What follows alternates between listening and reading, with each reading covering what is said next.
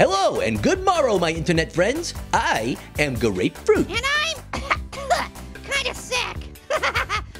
Well, today's challenge ain't nothing to sneeze at. Today we've got the one chip challenge. Here's how it works.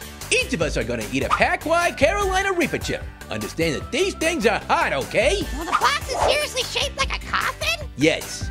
Oh, man. Fitting, considering you've been coughing so much lately. Am I right? yeah, one. When Orange isn't around, somebody's gotta pick up the slack. Lastly, we're each gonna have a glass of milk standing by. Milk will make the pain a little better, so whoever caves first and drinks the milk loses. Got it? Got it.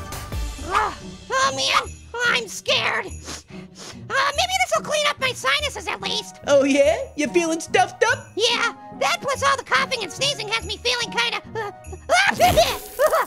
I'm sorry. It's okay. I a little dust from your chip may have gotten in my eyes, but it's really no big. Ah! Grapefruit, are you okay? Where's the milk?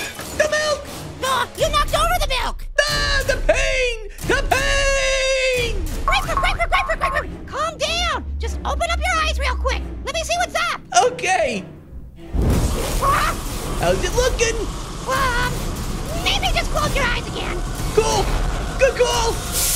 Ah, relief. So, maybe we shouldn't go through with this. I mean, that was just a little dust. I can't imagine how bad it's gonna hurt if we eat the entire chip. Yeah, maybe I'll just start with a little nibble. Well, I'll get the milk ready. Okay, three, two, one. Here goes nothing. That's spicy. Yeah. Really spicy. I'll say. I'm glad we didn't do the whole chip. Same here.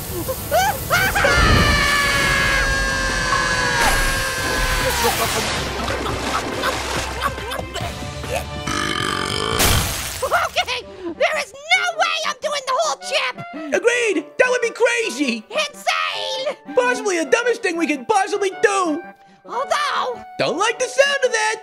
well, it's just we're gonna look like real weenies if we back out. I guess there are a lot of people watching this video. I watching. You're right. If I don't do this one chip challenge, it kind of wrecks the years of groundwork I've been subtly laying with her. You've been laying groundwork with passion? Yeah, real subtle stuff. She's gonna fall in love with me any day now, I'm sure of it. I'm pretty sure she doesn't even like you, dude. No,